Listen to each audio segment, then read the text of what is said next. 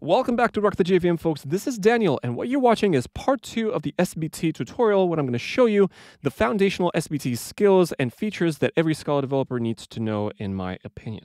In the previous video, I showed you the absolute basics of SBT, including how to spin it up, how to set up an initial project, how to set up some initial variables, how to compile and run sources and tests, and how to add additional libraries for uh, regular uh, project and for tests respectively. So here I am in my little project which I created from scratch in the previous video and here I have a build.sbt, a source directory which contains a uh, uh source main scala com rock the JVM and a main application with a main method and uh, the Fantasy library, and a source test Scala with the same package comrock the JVM with a simple test file, which has a very simple test, the uh, contents of which are not that important. My goal is to show you the foundational SBT features. And here under build.sbt, I have uh, just some global variables like the Scala version, the name and the organization. I showed you how to add external library dependencies and how to make SBT download those automatically. Now, for the purpose of this video, I'm going to show you some more complicated features of Build SBT, including how to set up multi-module projects and how to run them separately. So to that end, I'm going to create a new multi-module project. Let's call this, dear, let's call this multi-module project and I'm going to change directory into this one, and I'm going to vim build sbt, and I'm going to start a new build sbt file. And I'm going to add my original variables like the Scala version, the version, the name, and organization, but I'm going to scope them under a constant called this build. So I'm going to say this build slash Scala version is, and I'm going to use this uh, colon equals uh, assigner. So it's 213.8 at the moment of this recording. This build slash version is at version, say 1.0. This build slash name is, let's call this multi-module. So this is the name of the entire project. And this build slash, let's call this organization. So organization is uh, com rock the JVM. Now, this build is a global scope, so all these settings apply to the entire project, including all the modules that I'm going to specify. And because the build SBT allows plain Scala syntax, I'm going to create a val. So I'm going to say uh, module uh, 1. I'm actually going to give this name, let's call this core, as I'm going to use in parentheses, I'm going to say project in file, and in parentheses, I'm going to use core as a string. So this expression, project in file core, obviously is regular Scala. The in is a method. Project is a uh, globally available data structure. And file core, this is a path to the uh, core subdirectory within this project. So when I execute the sbt command, sbt will create this directory for me. And uh, I'm going to make this lazy. It's usually good practice to make them lazy because SBT will only need to load them once when needed. So I'm going to have lazy val and I'm going to create a new module. I'm going to call this, let's say, server or something like that. So project in file, I'm going to call this server. And I'm going to have a lazy uh, val. This is the big project. So I'm going to have root as project uh, in file and I'm going to have dot, which is the root directory. And then I'm going to aggregate. So I'm going to say aggregate. And I'm going to have my core and server submodules inside. Okay. Good. Now, at this point, I'm going to uh, write this file and I'm going to hit SBT. And when I hit SBT, you'll see that SBT will create the appropriate directories. So let's give it a couple of seconds. And uh, apparently I've had some syntax error. So uh, let me vim again. So we have project in file core, project in file server, and have project in file dot. And I forgot a parenthesis here. And uh, this is typical me when I don't have autocomplete or somebody to yell at me. Then uh, let me run SBT again. This should take a couple of seconds for SBT to spin up the necessary stuff. Okay, um, cool. Now, if I, uh, okay, let me exit the SBT uh, console. And notice that we have a project and a target directory automatically created by SBT for any SBT project. But notice that we now also have core and server subdirectories, which will serve as independent modules. And inside the core and server, we can add additional build.sbt files to specify some uh, module specific settings for both. I'm going to show you. So for instance, let me uh, make the server directory, the server module, depend on core, assuming that this is where you store your uh, data definitions and server is a dedicated module that relies on this one. Let me uh, vim build sbt again, and I'm going to make server depend on core by saying depends on, and I'm going to use the core variable as a dependency. All right. Now, in this build.sbt file, you can specify the library definitions or uh, module-specific settings here in this file. So I can say lazyval core, let's say, dot uh, settings. And here under settings, you can specify the, um, for example, library dependencies for this project, or you can specify the library dependencies in its own build.sbt, and I'm going to show you how. So let me uh, remove this little thing, save build SBT, go to core, and I'm going to have another build SBT, and I'm going to say, for instance, library dependencies plus equals, and I'm going to have, let's say, uh, com type safe. I'm going to have type safe config, so I'm going to say uh, percent percent, and I'm going to use config, and then I'm going to say percent uh, 4.2 uh, 142 142. Checking my notes here, I think I have this Okay. All right, now let me get back to the root.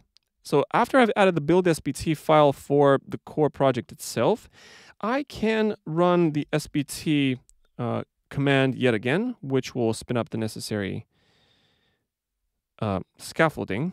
Okay, so the SBT uh, ran correctly for our little project.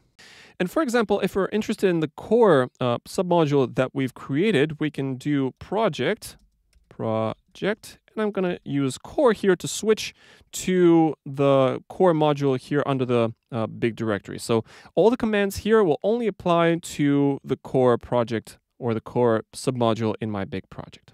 So if I hit compile or this thing with tilde compile, which will uh, keep in uh, a watcher for files only within this project, it will automatically compile those as well. All the commands are specific to this uh, submodule.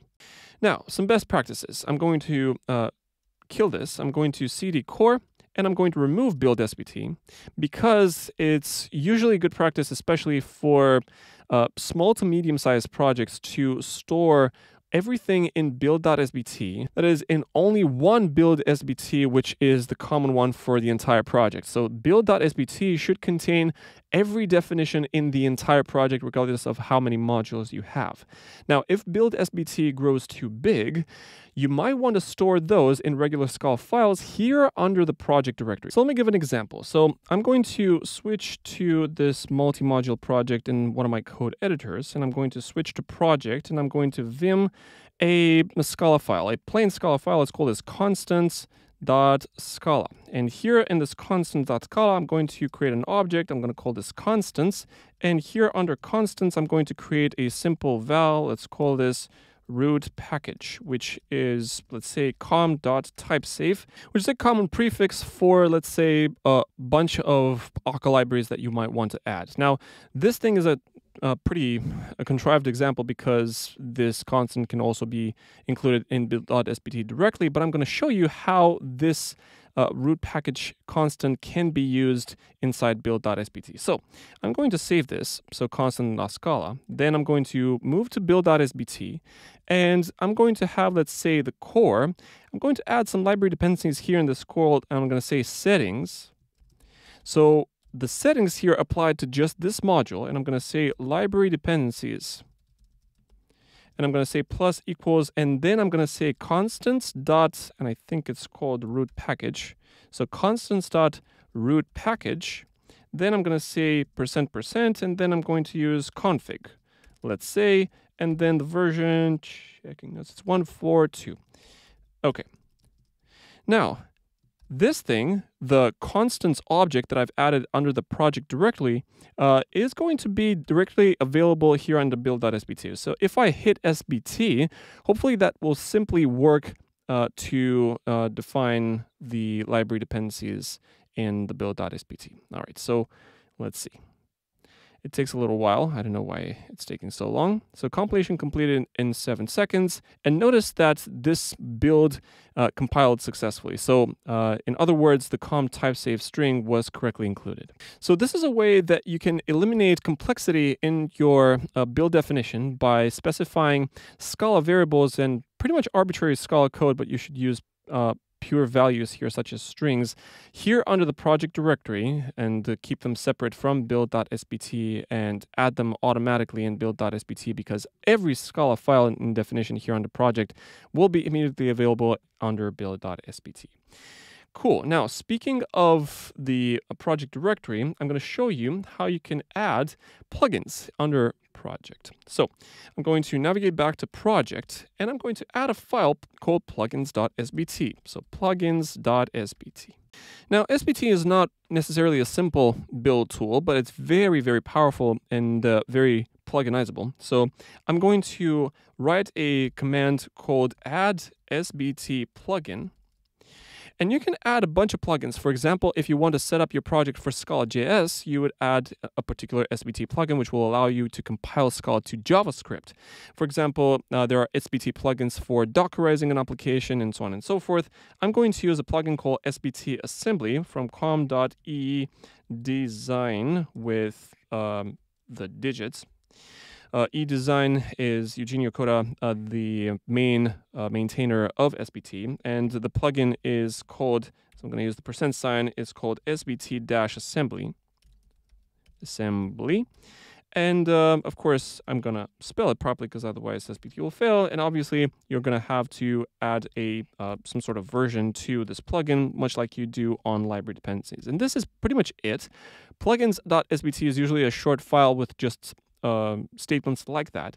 And if you want to enable the assembly plugin by going back to build.sbt. So I'm going to say uh, build sbt. And let's say that, for instance, I want this core module to be uh, built first, and the main class of the core module is going to be some sort of uh, main application. Let's call this. Uh, so I'm going to have to say assembly which is a scope enabled by the plugin. So assembly slash in the same style I was as we did this build earlier. So assembly slash, and I'm going to have main class. And I'm going to use the assignment operator, and this is going to be an option. So I'm going to say sum with a string with a fully qualified class name of a main application. Then I'm going to add a comma here because every expression here is an argument to the settings function. So I need to make sure that the comma is here. So sum, I'm going to have, let's call this com rock the JVM dot, let's say core uh, app or something like that. And I'm going to have a comma. Then I'm going to write this file. Okay, now I need to create that application. So I'm going to make dir um, dash p. So I'm going to have core source main scala com rock the JVM, and this is an autocomplete from my uh, uh, from my console. I'm, iTerm here because I uh, practiced this before. So I'm going to have let's call this core app dot scala, and uh, I'm going to vim actually not going to use that as a directory. I'm going to call this um, uh, remove. So I'm going to remove this um, dash R, and I'm going to remove this because I accidentally made it a uh, made it a folder. So I'm going to have a vim, um, and I'm going to use this exact path. So core source means scala comrock the JVM core app.scala. Right now it's an empty file. Cool. So I'm going to have a package uh, I'm going to have com rock the JVM. Then I'm going to have an object core app. And I'm going to have a, a main method with args as an array of string. And this returns unit. And then let's say I'm going to print line uh, simple module application. And I'm going to, first of all, write proper Scala. So def main. let me write this. So I have a core application, and because I'm in the multi-module project, I need to hit SBT. And then I need to spin up this, uh, the application, or rather the assembly plugin. So I'm going to have project core. So I need to switch to the module which had the assembly plugin installed there. And then I need to hit the assembly command. So assembly with two S's, so assembly. And uh, this should download, should try at least, should try to download the library definition from build.sbt, but it seems that type level config at 142 is not available. For some reason, I don't know what's happening here. I'm going to use org type level, and I'm going to use cats effect. So let's write this one, exit, build SBT, and here on instead of config, I'm going to use cats effect. I know for sure that this is going to work. So cats effect, I'm going to use instead of 142, I'm going to use 331 or 330. Uh, then I'm going to uh, write this, run SBT again,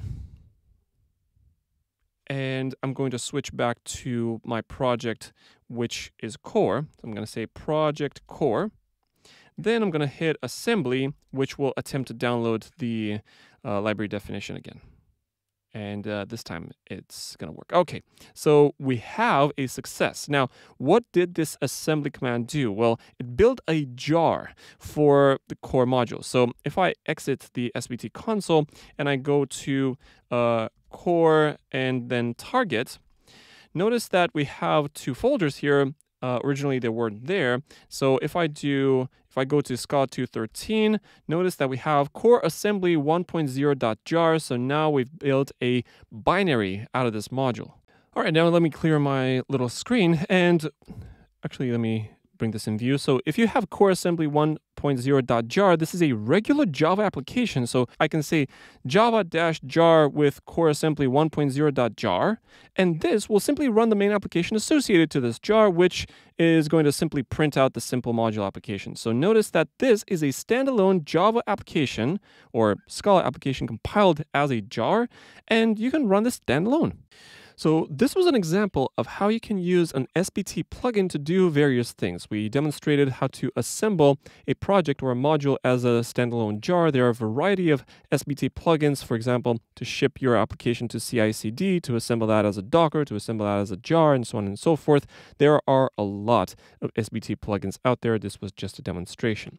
Now, this plugin was local in the sense that we had uh, it installed in plugins.sbt.